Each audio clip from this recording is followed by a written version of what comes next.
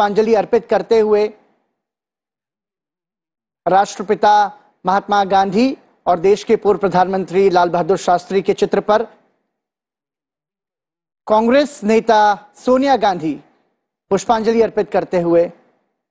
महात्मा गांधी के चित्र पर और तमाम सारे सदस्य केंद्रीय मंत्री संसद भवन के केंद्रीय कक्ष में आज राष्ट्रपिता महात्मा गांधी और देश के पूर्व प्रधानमंत्री भारत रत्न लाल बहादुर शास्त्री के चित्र पर पुष्पांजलि अर्पित करते हुए शंकर जी लाल बहादुर शास्त्री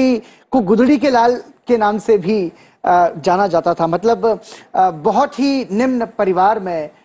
उनका जन्म हुआ और बहुत ही विपरीत परिस्थितियों में उन्होंने अपना जीवन जिया लेकिन अपने आदर्शों के साथ कभी समझौता नहीं किया ये बहुत बड़ी सीख वो देकर गए प्रधानमंत्री रहे तब भी बहुत सामान्य रूप से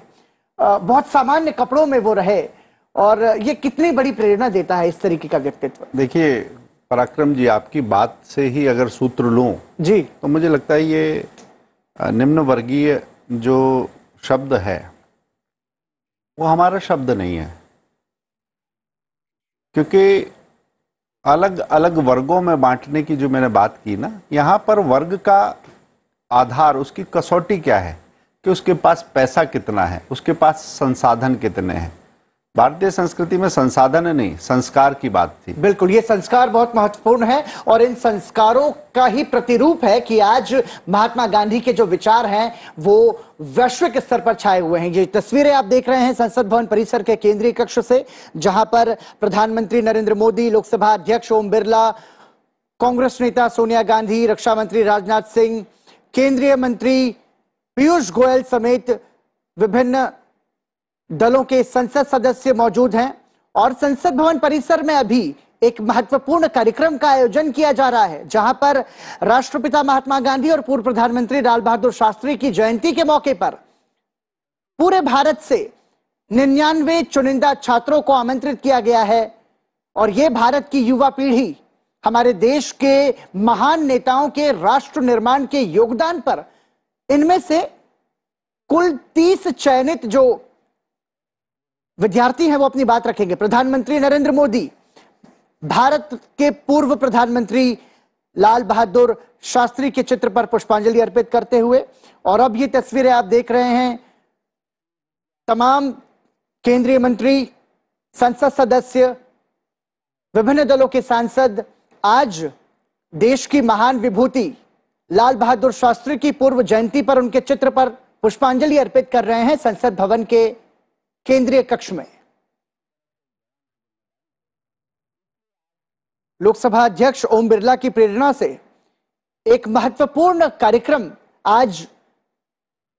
संसद भवन के केंद्रीय कक्ष में आयोजित हो रहा है जिसका सीधा प्रसारण आप देख रहे हैं आज भारत हमारे देश की दोनों महान विभूतियों को याद कर रहा है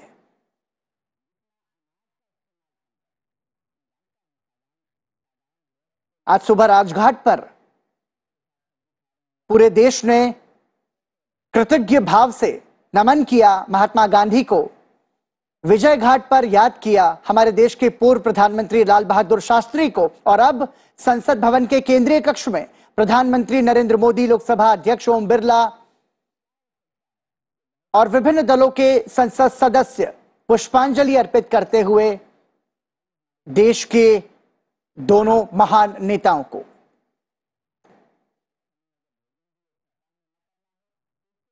इतने शंकर जी अब आप कुछ कह रहे जी बिल्कुल मैंने कहा कि ये निम्न वर्गीय की बात करें या कोई भी तो समाज को वर्ग में बांटना और वर्गों का की कसौटी सिर्फ पैसे के आधार पर आंकना ये भारतीय समाज और उसके विचार के साथ अन्याय है क्योंकि यहाँ पर एक परिवार की पूंजी उसके संस्कार भी होते हैं तो संस्कार की बात आवश्यक आवश्यक थी जिसे छोड़ दिया गया हम्म। और उसी संस्कार की कसौटी पर हमें अपने महापुरुषों को देखना चाहिए उन्होंने किन चीजों की बात की कौन से संस्कार वो लेकर चले हो सकता है कि उनका परिवार उसके पास संसाधन ना हो मगर एक बच्चा पढ़ने के लिए जाता है तो नदी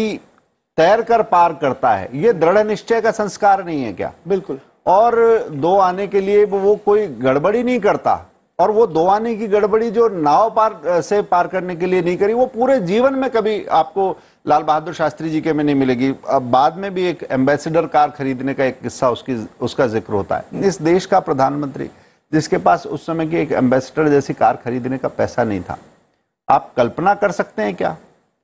आज पाँच पाँच हजार करोड़ के और सात सात हजार करोड़ के जो घोटाले निकल रहे हैं वो गांधी जी के नाम पर किए अखबार गांधी जी ने शुरू किया था हम उनकी पत्रकारिता कर रहे हैं आप कल्पना कर सकते हैं जिन्होंने लोगों को संस्कार दिया और पैसे से आपकी ताकत नहीं आकी जाएगी ये कहा सबसे कमजोर जो